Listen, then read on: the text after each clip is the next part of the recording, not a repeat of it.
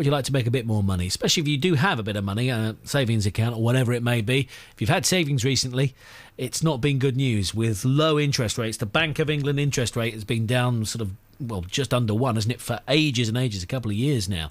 Uh, forget about savings accounts. If you want to make some money, get shares. Ouch. It's always scary, isn't it? That's the message from personal finance website Moneyfacts. But is it really the way forward? Uh, Jonathan Davis is an economist and wealth manager from Jonathan Davis Wealth Management. Uh, good evening to you there, Jonathan. Hi, Phil. Um, yeah, the reason I say ouch with shares is that I know that they can go up and down. So you, you could have the the worst of all possible worlds. See your sh- your savings go down and your shares go down.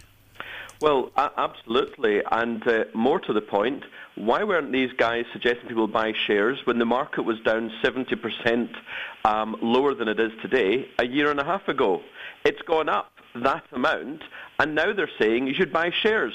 Well, you know, frankly, it's typical of the financial services industry, of which I am a participant, where they always um, recommend people to buy high which of course is what you shouldn't be doing. In fact, let me tell you, my own firm, in the last few months, we've actually been reducing exposure to the markets, to the share markets in the last few months because of the phenomenal rise.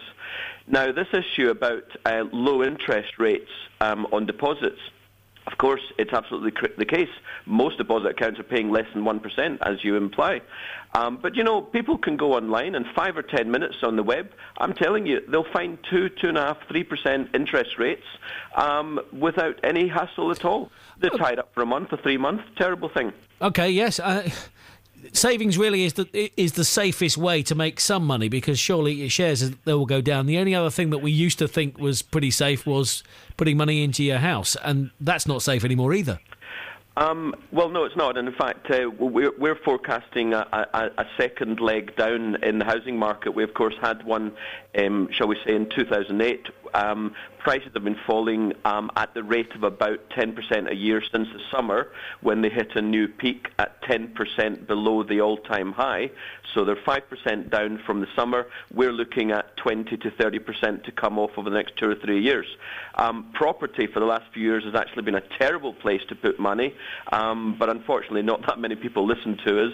Um, perhaps they will now.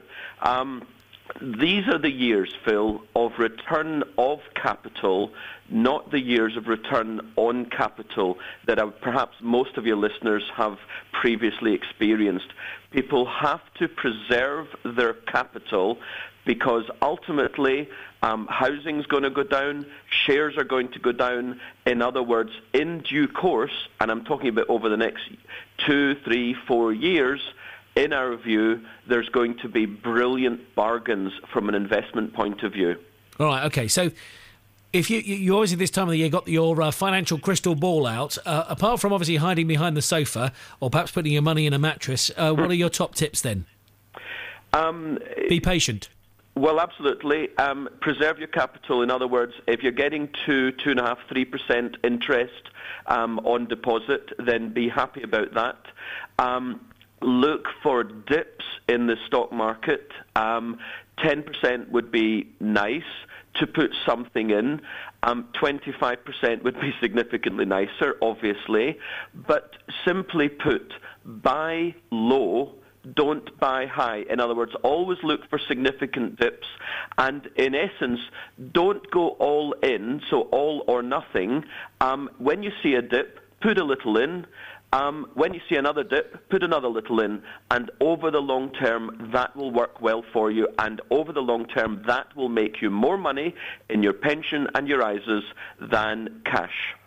Jonathan, uh, glad you came along.